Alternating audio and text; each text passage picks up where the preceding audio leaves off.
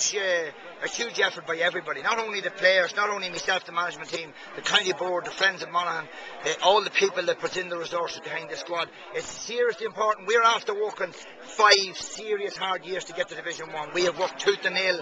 We're promoted three times in that five years uh, because of the restructure. We didn't get to Division One proper. I'm delighted for the lads, and I think the future of Monaghan football is in a good place. We have played 10 Devingtons in 2010 in a Division 1 National Football League that hosts the best teams in the country, and I think Monaghan's in a good place. Regardless about the result at the end of the day today, uh, the championship is really what matters now, and our clock will start to tick.